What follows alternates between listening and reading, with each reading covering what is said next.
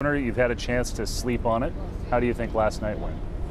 Well, I think it was, uh, we accomplished what we wanted to accomplish, which is tell the Washington story, which is a state that has embraced diversity, it's embraced education, it's embraced progressive values. I think we were able to deliver that in uh, not a, a, long period of time, but in a very efficient uh, manner. So I think it was a good night. Were you happy with the format? I mean, 538 even pointed out you had the fewest number of words of any candidate.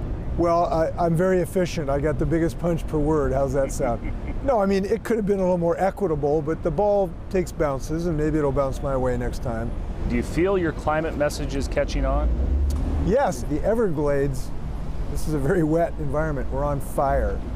Um, the Midwest has been flooded. Miami Beach has spent $500 million on infrastructure trying to build up the roads because of the flooding. Are, are, you more aggressive, say, in July in that debate versus what happened last well, time? I think the moderators, we need to understand the rules. The moderators need to enforce the rules a little bit. You go to Iowa next. Uh, obviously, you know back home in Washington State, there there has been some criticism about how much you're on the road right now and not in, in Olympia. Uh, how do you answer that? How do you answer the, the questions about the state patrol security that you've been getting uh, on taxpayer dime?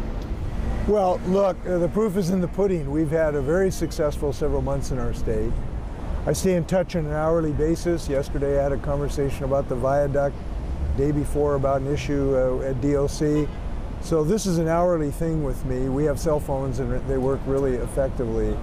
The issue of State Patrol. We're following the law. I've said we're going to follow the law, and I think that's a good thing to do.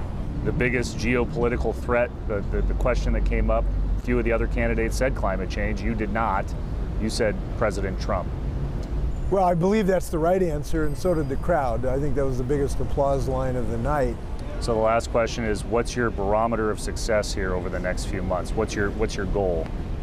My goal is to uh, replace Donald Trump with a leader who is in touch with the can do attitude of America.